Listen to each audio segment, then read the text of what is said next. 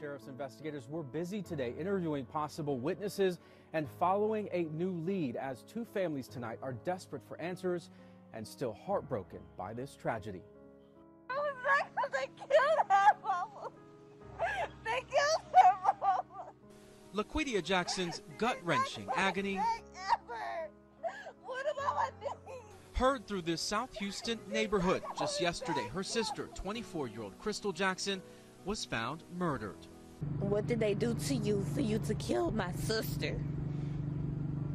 You you beat my sister up. You just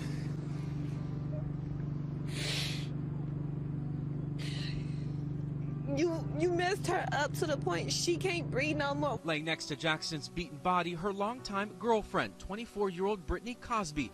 Both bodies were discovered early Friday morning next to this convenience store dumpster in Port Bolivar. I would never hear her voice again and never thought that it would come my time to bury my child. Jackson's father says he last heard from his daughter on Wednesday. He said she worked as a security guard, Cosby a barista at Starbucks. Both lived at Cosby's great grandmother's home. Because I never heard from her anymore. And uh, that night I didn't hear from her. That was Wednesday night when the couple took a trip to Galveston for Mardi Gras. Cosby had just bought a new car. Investigators still looking for that silver 2006 Kia Sorento.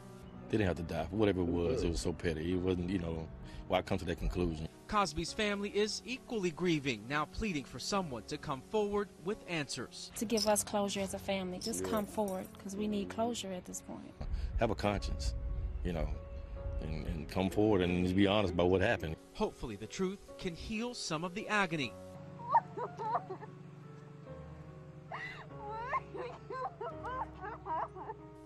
Pain of losing two women, many called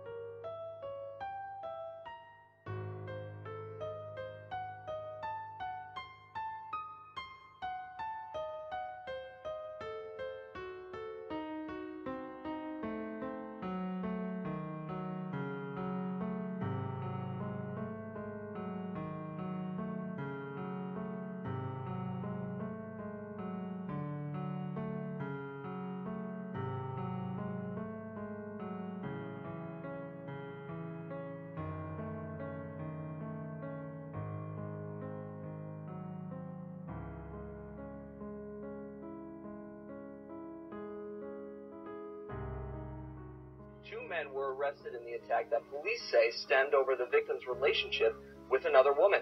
Only Mega Sugianto spoke with the victim and has this 1011 exclusive. Mega. You know what, Josh? The victim says she's been tormented by her family ever since she started dating her girlfriend. And the couple are in shock that it got to this point.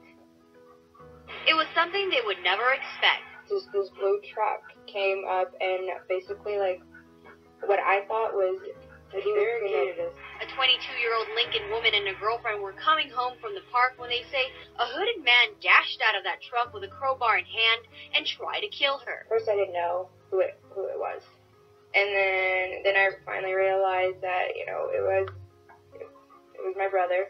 The victim, who didn't want to be on camera, remembers the attack. He had um, a crowbar in his hand. He tried to hit me with it, but I managed to get away, get in the car, and I locked the door. And he just continued to hit on like my my side, and he just hit it and hit it and hit it and kept hitting it. Her brother hit her car, creating lots of damage. But it wasn't only that. He chased her down the street, attempting to push them onto oncoming traffic. The victim told me that her relationship with her younger brother was rocky, but she always took care of him. He wasn't violent until early this year when she came up front that she is gay.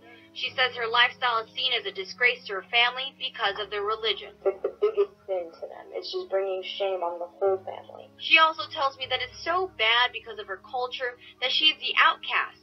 And if her brother was successful at killing her, Like if my uncles and stuff like that were all, I think they'd be all very proud of him. the victim couldn't believe this happened. I don't understand how they could do that to their own, to their own child.